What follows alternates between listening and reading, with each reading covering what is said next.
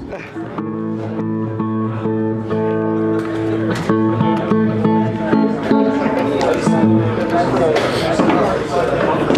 we'd like to dedicate this night of music to our good friend and brother Corey Dwyer, who's no longer with us.